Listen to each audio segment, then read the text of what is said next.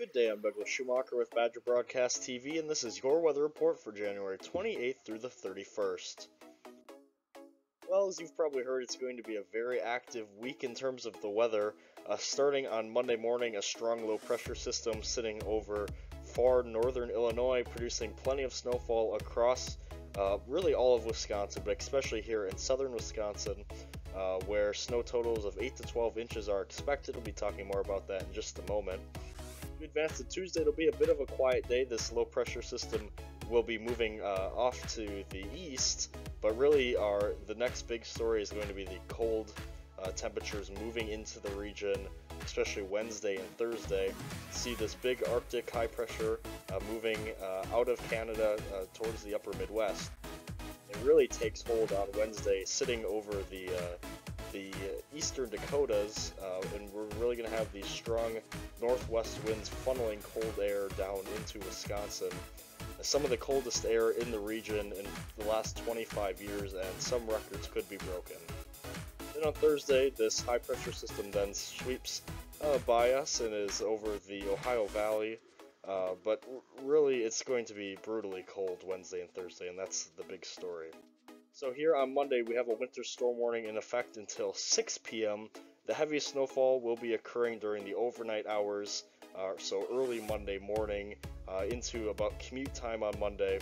So really, walking to class, it's going to be kind of an inconvenience. Uh, the university, as of Sunday evening, has said that classes will go on as scheduled, but uh, people driving to campus on Monday, uh, it could be a very treacherous commute, uh, if not impossible in some places because of this heavy snowfall. We're expecting 8 to 12 inches of snow to fall, the majority of it uh, before 9 a.m. on Monday, uh, and then flurries continuing throughout the day, but winds will also be picking up Monday afternoon into the evening, which could cause some blowing and drifting. Then on Tuesday, it's a bit of a break. Uh, it will be cold, but not brutally so. We're talking about a high of uh, minus 2 on Tuesday.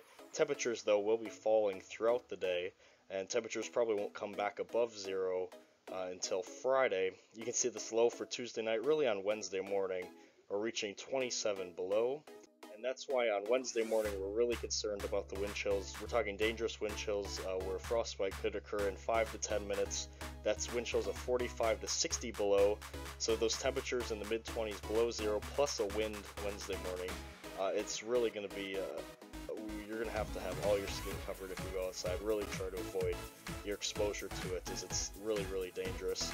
Partly sunny skies. Um, and then low temperatures Wednesday night into Thursday morning, dropping down to 28 below, so even a bit colder.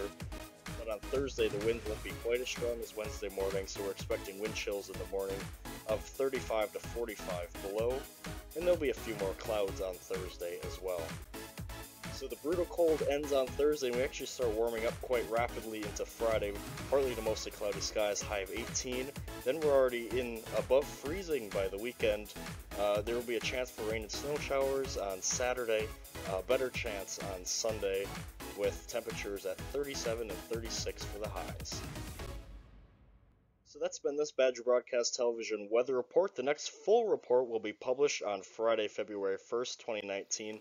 Make sure to like our Facebook page, Badger Broadcast Television, for all the latest, including some live streams throughout the week and other updates uh, to keep you both safe and uh, in the know about what's going on here on campus with the weather.